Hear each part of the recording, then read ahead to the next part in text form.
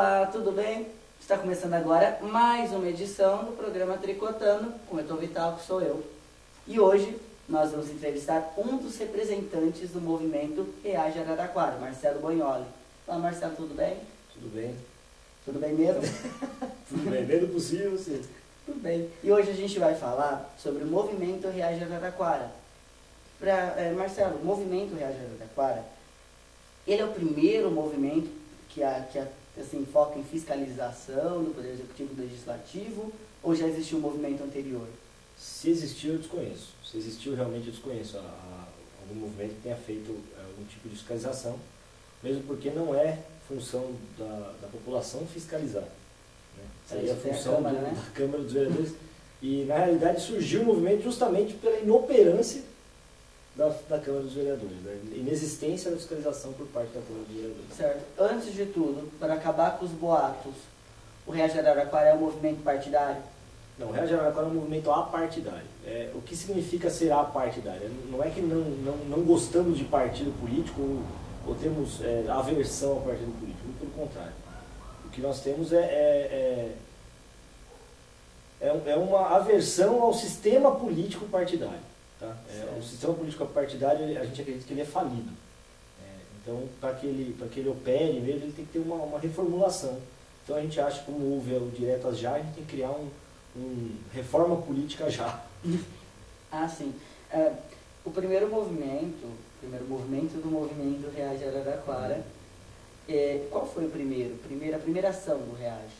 Antes da, do aumento do salário dos vereadores. É, na realidade, o Reage Araraquara ele, ele, ele ocorreu da seguinte forma.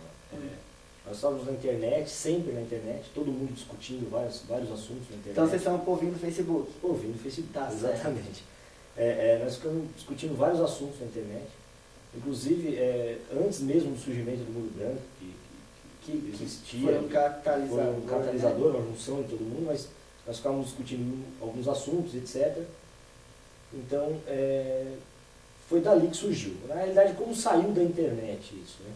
saiu de uma discussão, porque na realidade todo mundo fala, ah, oh, pô, tá fazendo isso, tá fazendo aquilo, aquilo tá errado, isso tá certo, isso tá errado, e bate boca toda hora com várias pessoas.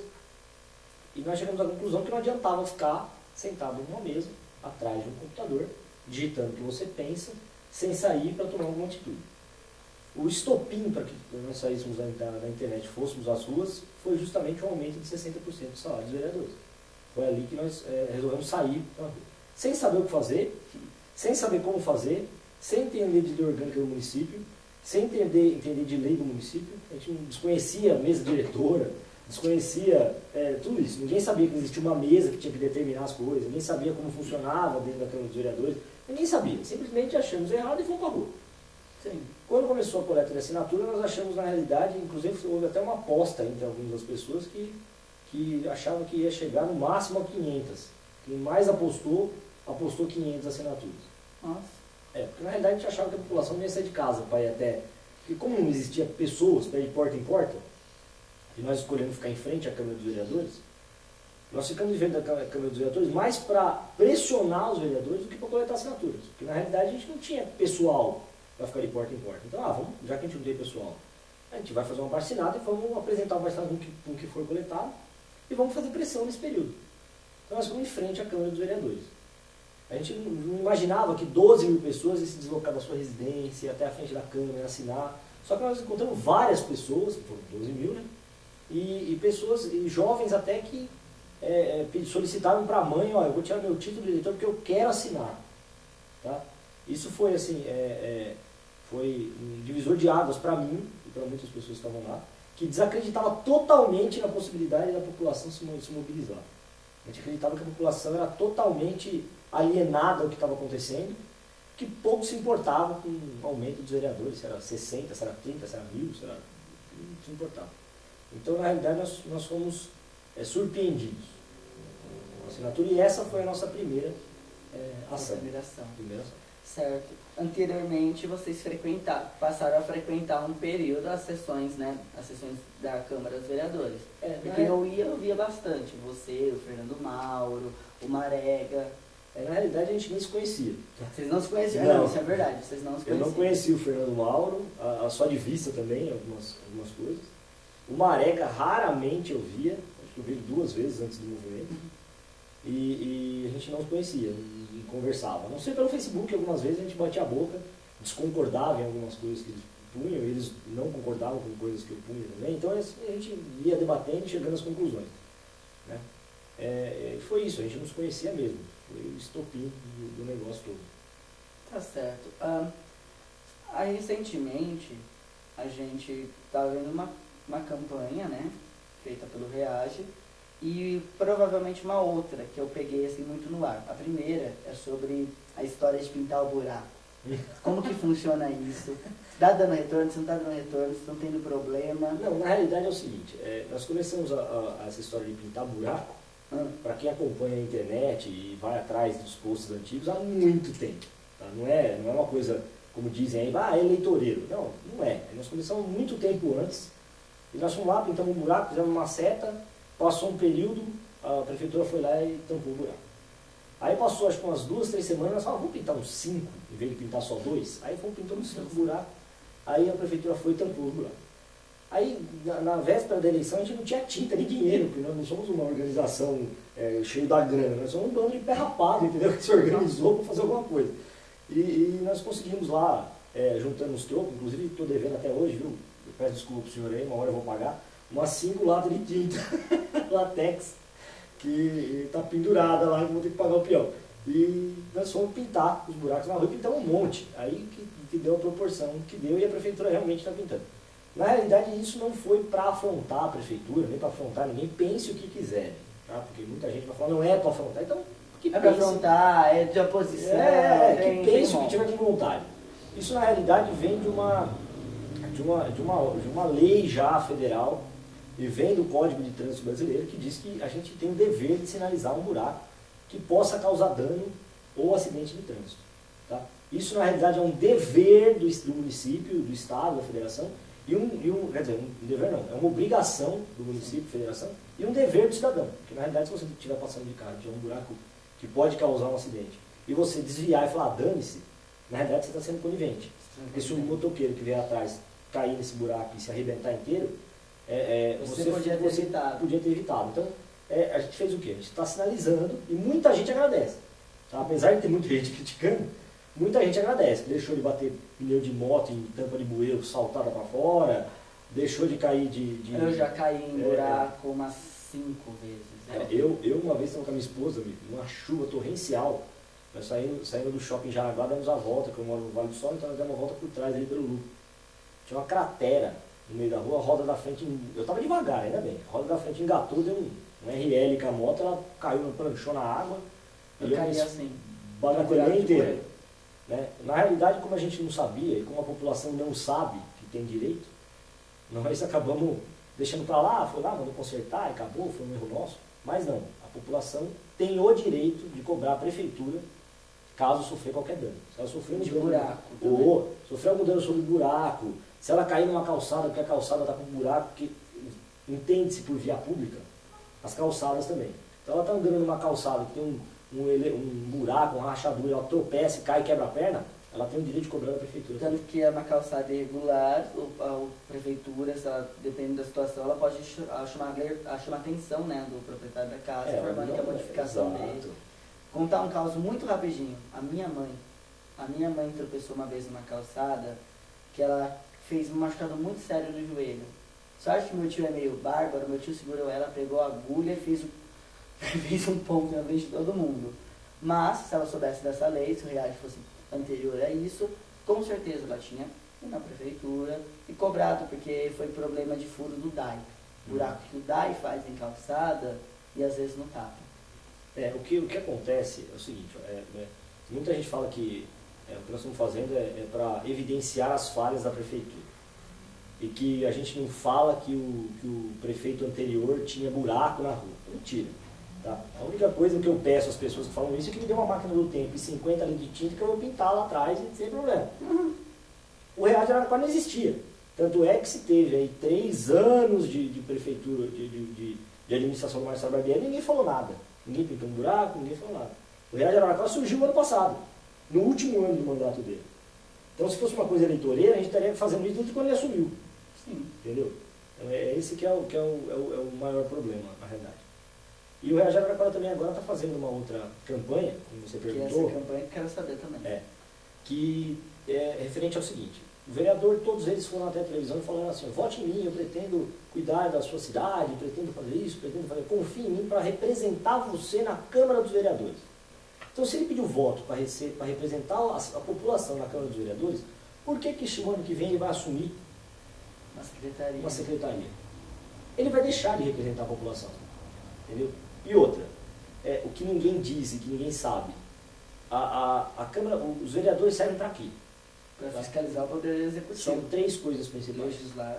Fiscalizar, né? é, fiscalizar o poder executivo, resumindo, o que a prefeitura fizer, ele tem que analisar, saber, entender, para não causar dano no município. E se for causar, avisar a prefeitura, se a prefeitura se negar ela, a, a, e passar por cima, ela, ele julgar, porque cabe julgar também.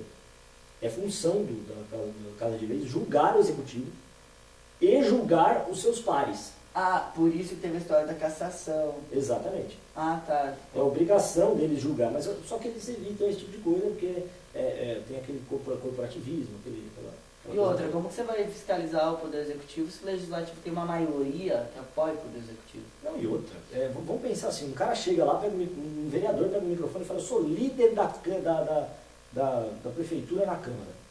Como que ele pode ser líder da prefeitura, do executivo, na Câmara dos Vereadores, se a função dele é fiscalizar esse executivo. Então ele está sendo cooptado pela prefeitura? Então ele é comprado pela prefeitura? Isso não existe, entendeu? Porque na realidade eles deveriam ser todos isentos, dependendo do partido que elegeu eles, para analisar caso a caso que vier da prefeitura, para que seja feita a oposição justa, não a oposição burra, que hoje nós temos também a oposição burra. Tá? Aquela oposição que não importa o projeto que vier, ela barra. Ah, tá. tá. O que é um erro também, porque ela tem que analisar, e se for bom para a população, tem que passar. Agora, se for uma coisa absurda, não pode passar. Então, a oposição, às vezes, se, faz, se coloca no papel de barrar tudo e tudo está errado. E a situação se coloca no papel de tudo tem que passar. Então, fica essa briga, essa disputa, e quem sempre perde é a população, como a gente está vendo agora, um prejuízo aí de 100 e poucos milhões de reais aí, que a prefeitura está levando no longo, e pelo jeito vai continuar crescendo. Tá certo. Então a gente vai um minutinho para o intervalo e já já a gente volta para falar um pouquinho mais com o Marcelo.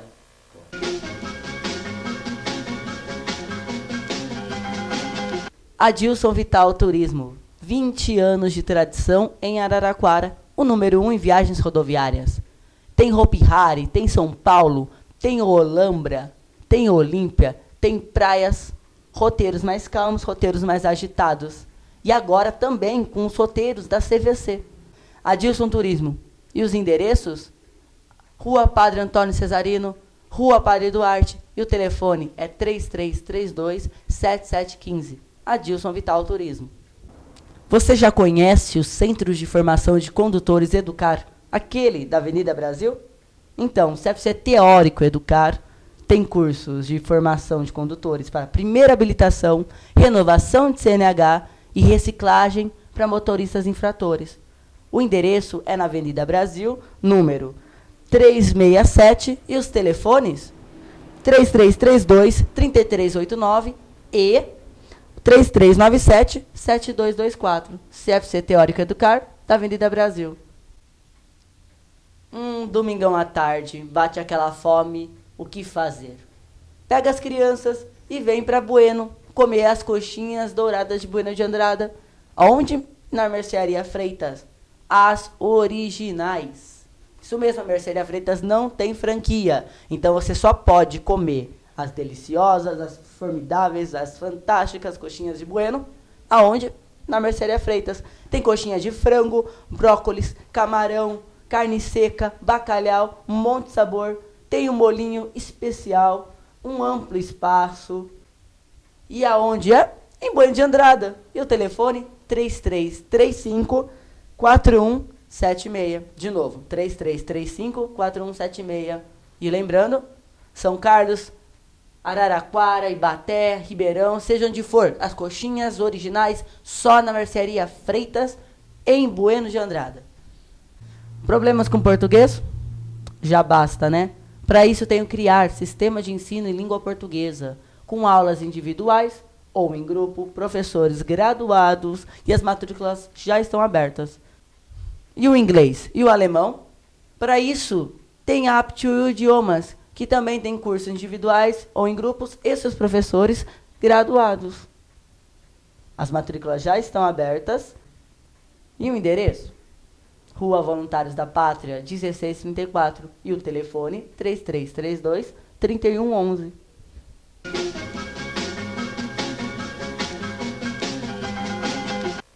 Voltamos, e voltamos com Marcelo Boioli, do Movimento Reage Araraquara. E agora minhas perguntas vão ser um pouquinho mais polêmicas. Estamos falando de Araraquara, evidentemente. É, primeiramente, é, quando vocês, tem, vocês vão tentar fundar uma ONG, né? Do Reage. É, a gente está tá, tá na dúvida ainda, porque é o seguinte, como o Reage Araraquara é uma nossa, a nossa função, a nossa ideia e a nossa vontade que se permaneça é, é, é apartidária, justamente para não ser, não ser manipulada por nenhum partido político. É, o nosso medo de se tornar ONG é justamente em, em, algum momento nesse processo de virar ONG, ou até mesmo a gente conseguir segurar essa ONG como uma partidária por um período aí de, sei lá, quatro anos, cinco anos. E depois, quem vai assumir? Entendeu? Será que essa pessoa vai ter a mesma ideia de se manter isenta? ou, se, ou ela, vai assumir, ela vai assumir um papel de, de querer é, fazer joguinho pro lado de cá, joguinho pro lado de lá. Então, isso é o que a gente não quer. Não querendo isso, a gente vai lutar até onde a gente der, lado a lado, sem saber, sem criar é, ONG. Por quê? Porque eu acho que é dessa forma que a gente consegue fazer alguma coisa pela população. Nós não estamos aqui para ser salvador da pátria de ninguém. Tá? E nem se colocar como heróis para ninguém. Mesmo porque eu acho que se cada um sentir no coração que, que, que é um reage a Araraquara, que venha para a rua pintar buraco, na frente da sua casa, na esquina, aonde for. Porque na realidade é, a população tem que se mexer.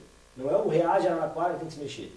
Nós estamos tomando atitude, nós estamos fazendo tudo que é possível e botando a cara tapa de verdade. Se nós já estamos botando a cara tapa, tudo que eles pintarem de buraco na rua, quem foi? Foi o reage. Então não se preocupa, vai lá pintar buraco. Entendeu? E a população tem que se mexer, é o que a gente quer fazer. A gente tem dois trabalhos. Um, apontar o que está errado e tentar corrigir. E dois, educar quem está chegando para aprender a fazer uma, uma, uma, uma política, para aprender a participar da política, porque é essa política que beneficia a vida das pessoas por aí, como saúde, educação, etc. Certo. Falando de. Não, não falando das eleições para frente, vamos falar daqui para trás. É, a gente teve uma situação, uma oposição na Câmara dos Vereadores. A oposição foi feita pelos três vereadores da base do PT, que, é, que não é a base governista, mas é o PT que foi a Marcia Lia, o Carlos Nascimento e o Ed Locke. Minha pergunta, como oposição, você acha que foi uma boa oposição? Você acha que foi uma oposição ruim, mediana? O que, que você acha da oposição? Olha, é, é, como eu te disse, a gente não tem muito conhecimento do que é, do que é a política ainda. Então eu vou te falar que eu, eu tenho como opinião, e nós temos como opinião, que a gente se conversa. Tá? É, é, a, na nossa opinião, não houve uma, uma, uma oposição. Tá? Não existiu uma oposição. A oposição estava ali é, para marcar território. Simplesmente isso. Por que isso? Porque a gente acha que, que a oposição ela tem que ser oposição. Entendeu? Ela é oposição, então ela seja uma oposição inteligente. Tá? É, é, um, é um projeto de lei que tem que ser analisado, como pá, depende do orçamento, o orçamento da prefeitura é 500 e poucos milhões, é, vai se gastar 700 milhões? Vamos analisar então, porque não pode gastar mais do que vai receber. Entendeu? Não pode fazer isso, não pode fazer aquilo. Então, vamos acertar, mostrar a verdade e fazer a população enxergar. E se a, se, se a situação quiser fazer isso passar a todo custo e passar, que eles vão até a população e tragam a população para a Câmara para lutar contra aquilo, porque aquilo vai prejudicar o município. Só que não foi isso que aconteceu. Tá? A gente teve vários casos aí de, de situação de, por exemplo, aumento de cadeiras foi passado goela abaixo, aumento de salário foi passado goela abaixo, teve gente da oposição que votou a favor.